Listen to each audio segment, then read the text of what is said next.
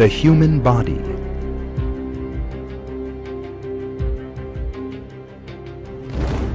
A flawless structure with many fine details that still have yet to be discovered.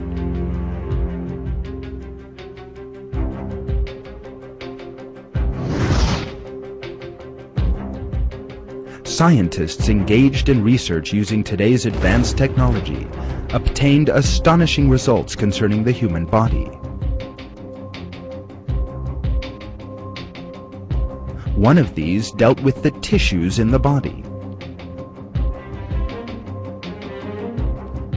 Living tissues contain 26 different elements. Six of these are the most common. Carbon, hydrogen, oxygen, nitrogen, phosphorus, and sulfur.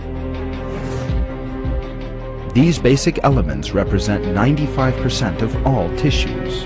This, in turn, represents important scientific evidence of the information revealed in the Quran, the creation of man out of clay. The building blocks that constitute almost all the human body are present in the soil, either in free or compound forms.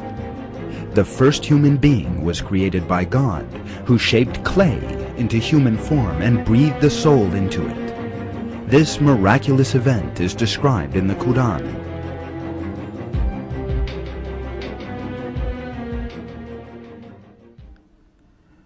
Your Lord said to the angels, I am going to create a human being out of clay. When I have formed him and breathed my spirit into him, fall down in prostration to him. In another verse, God tells us that we created man from an extract of clay.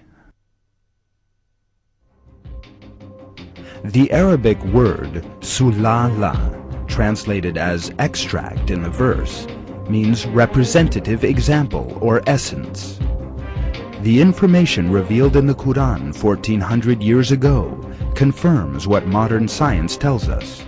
The fact that the same elements are employed in human creation as those found in the soil.